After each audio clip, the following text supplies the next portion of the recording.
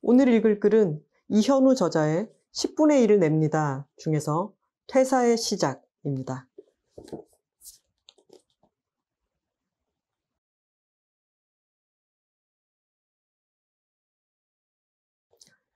퇴사의 시작 이현우 남몰래 퇴사를 고민하기 시작한 건 입사한 지 1년이 조금 지났을 때부터다. 나는 드라마 제작사에서 PD로 일하고 있었다. 하고 싶었던 일이었고 함께 일하던 동료들도 나쁘지 않았다.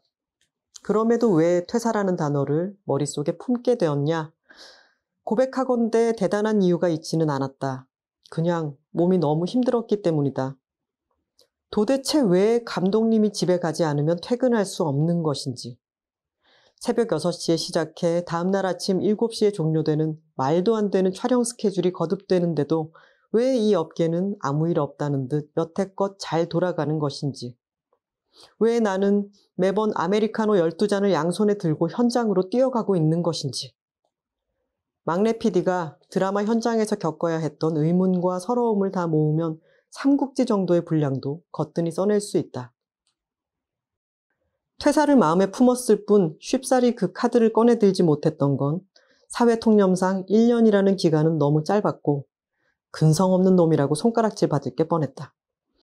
가끔 함께 술을 마실 때마다 내 어깨를 툭 치며 야 조금만 고생해 넌 입봉하면 진짜 잘할 스타일이야 라는 달달한 주문을 주기적으로 걸어주는 부장급 선배 그리고 나름 대기업 계열이라고 주는 쏠쏠한 복지 혜택들 때문이었다.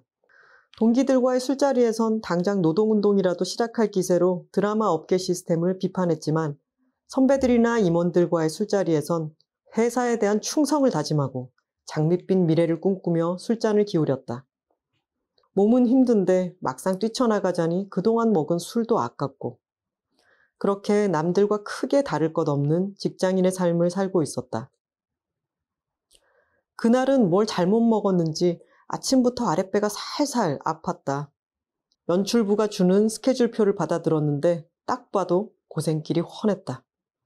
내가 투입된 드라마는 꽤 유명한 감독님과 작가님이 붙었고 배우 캐스팅도 나쁘지 않아 회사에서 주목하는 작품이었다. 이전까지 내가 참여했던 드라마는 이름만 들어도 재미없을 게 뻔한 드라마들 뿐이었고 심지어 그 중 하나는 조기 종영했다.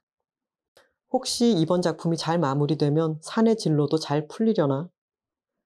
하지만 눈앞의 현실은 빽빽한 촬영 스케줄이었고 나는 화장실에서 아픈 배를 부여잡고 스케줄표에 밑줄을 빡빡 쳤다. 아니나 다를까 점심이 지나고 나니 선배가 연출부 스태프 몇 명을 인솔해서 야산에 다녀오라고 했다. 여주가 성묘를 하는 씬인데 현장에 풀이 너무 많아 그림이 안 나온다는 이유였다. 휴, 이런 일까지 해야 되나.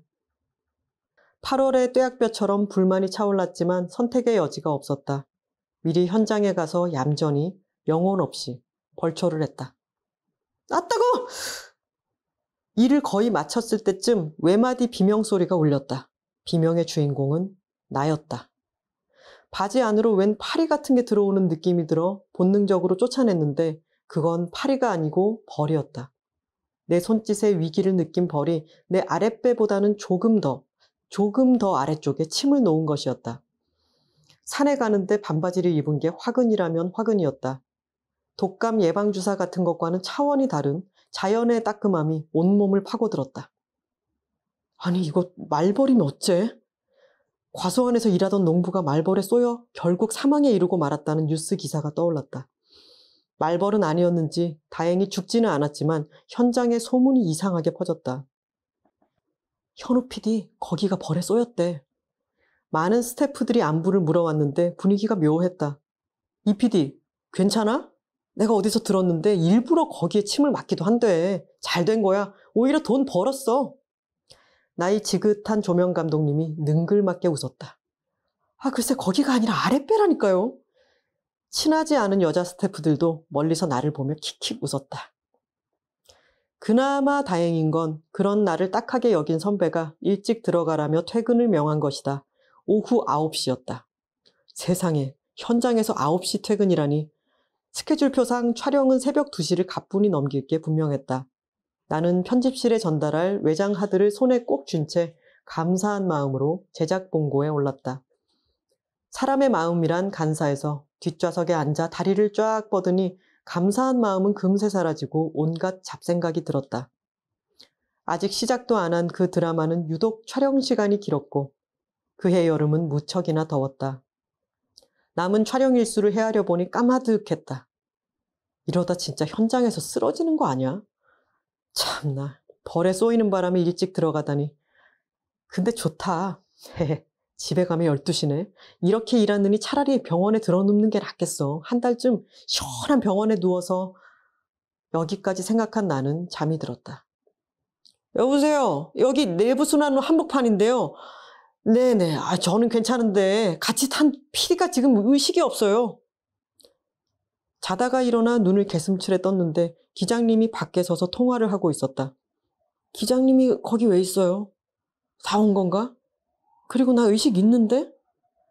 잠이 덜 깬 상태로 몸을 움직이려는데 잘 움직여지지 않았다. 이거 꿈인가?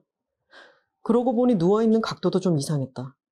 눈을 내리깔고 밑을 보는데 티셔츠와 바지가 피범벅이 되어 있었다. 으, 이게 뭐야? 갑자기 온몸에 엄청난 고통이 밀려오는 것 같았다. 그리고 정말로 의식을 잃었다.